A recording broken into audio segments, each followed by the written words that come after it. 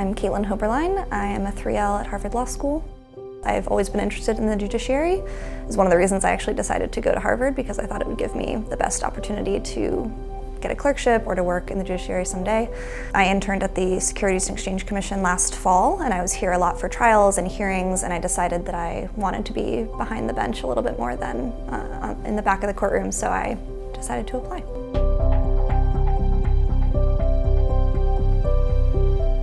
Since I became a judge 15 years ago, uh, right from the beginning, I've always had interns. They're an extension of my law clerks, but I like to teach. I like to work with young people. It's one of the benefits of the job is I have a continuing changing cast of young people uh, who are starting out in their careers, who are curious about things, and who are very bright and very helpful.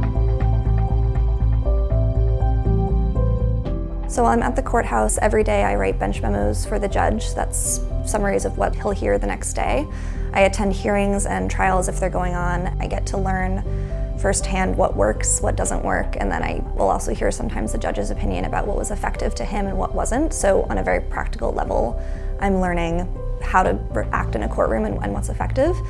And on the other hand, drafting opinions and getting the judge's feedback has been incredibly helpful and important to my own writing.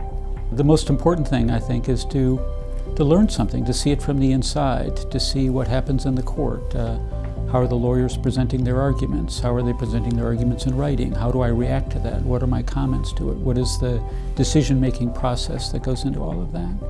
The most interesting assignment I've worked on so far would probably be a habeas petition. I had to research a lot of substantive law and a lot of both Massachusetts law and US federal law. So I presented the judge with my thoughts on where the case should go and what the um, how the opinion should read. He told me to write it up the way that I saw fit, and then I was able to see the edits afterwards so I could learn from what he changed.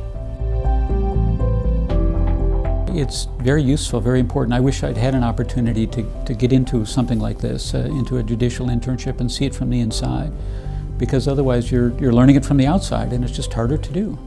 I would just encourage any students thinking about clinicals to do them and to think outside the box. I've done two independent clinicals at HLS and they've both been incredible experiences and I would encourage everyone to figure out where they want to be and make it happen. It's, it's very possible to create your own opportunities here.